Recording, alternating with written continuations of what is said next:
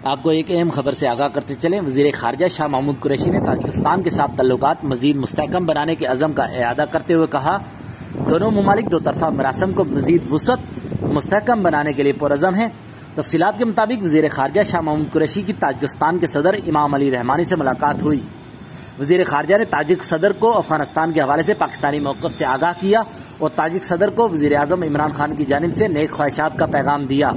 याद रहे, अफ़गानिस्तान की नई सूरत हाल के बाद वज़ीर खारजा शाह महमूद कुरैशी का गैर मुल्की ये दौरा है। मजीद खबरों और अपडेट्स के लिए आप हमारे यूट्यूब चैनल को सब्सक्राइब करें और हमारे साथ जुड़े रहिए।